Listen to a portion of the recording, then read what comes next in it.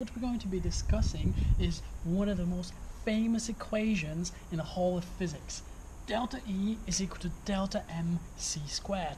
First developed by Albert Einstein in 1905, this equation is pivotal to nuclear physics. Let's understand why.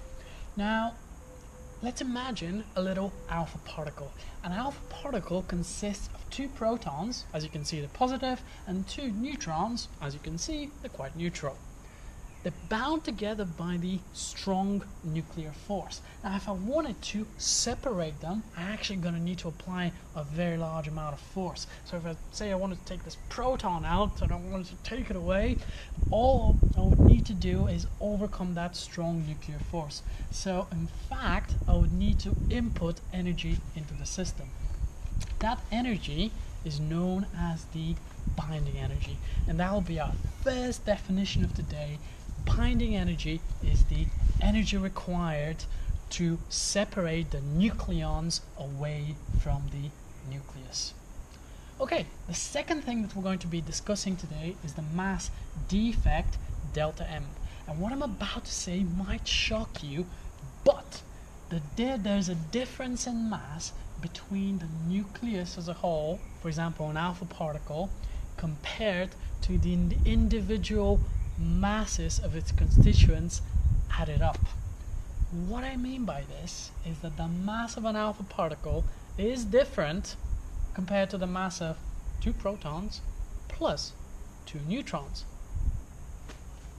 Let me give you an example. So over here we've got the mass of an alpha particle 6.64466 times 10 to the power of minus 27 kg got the mass of a proton 1.67262 times 10 to the power of minus 27 kg and the mass of a neutron 1.67493 times 10 to the power of minus 27 kg. Now, shall we just add those two numbers, or twice the mass of a proton plus twice the mass of a neutron? Well, if you input this into a calculator, so twice that plus twice that, what we're going to get is 6.6945 multiplied by 10 to the power of minus 27 kilograms.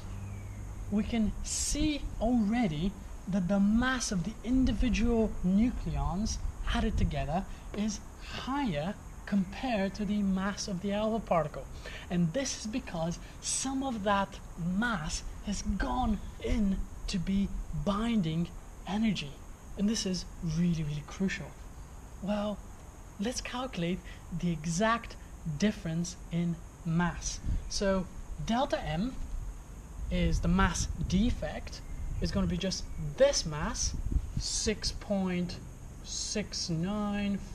5 times 10 to the power of minus 27 minus the mass of the alpha particle, which is 6.64466 times 10 to the power of minus 27. And if we put that into a calculator, we're going to get 5.044 times 10 to the power of minus 29 kilograms. And this over here is our mass defect is by how much the two masses differ. Now that we've got the mass defect, because we know what the speed of light is, we can calculate our binding energy. So let's do that.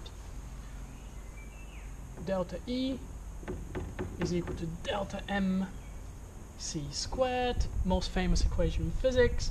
So that's going to be 5.044 times 10 to the power of minus 29 multiplied by the speed of light squared. So that's 3.0 times 10 to the 8. All of that is squared. If we put that into a calculator, we're going to get 45396 times 10 to the power of minus 12 joules.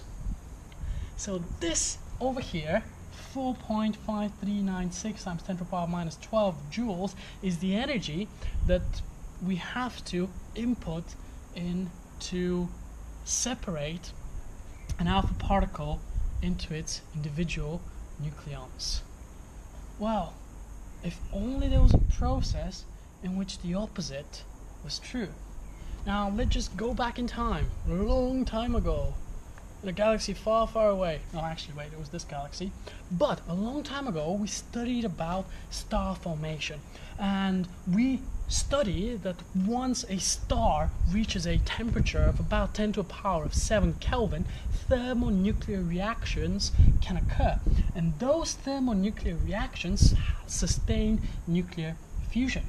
Well, the opposite, the fusion, is what gives us the energy from the sun on a beautiful day like this. The opposite happens in the core of a sun. You have hydrogen nuclei or, or protons which fuse together to form helium, and once that happens, some of their in some of their mass is lost into into energy, and delta E is equal to delta mc squared is also the reason why the, uh, the, the, the stars shine. It's absolutely fascinating. Okay guys, so let's just recap. What we looked at is the most famous equations, so equivalence between um, energy and mass. Delta E is equal to delta mc squared. We uh, define the binding energy, so as the energy required to separate the nucleons away from the uh, from the nucleus. We define the mass defect as the difference in mass between the mass of the individual nucleons added together minus the um, mass of the the whole nucleus and then we gave an example we looked at the mass of helium and from that we took away the mass of two protons, two neutrons, we found the mass defect and used delta E is equal to delta mc squared. Hopefully you've enjoyed this and remember to subscribe. See you for the next one.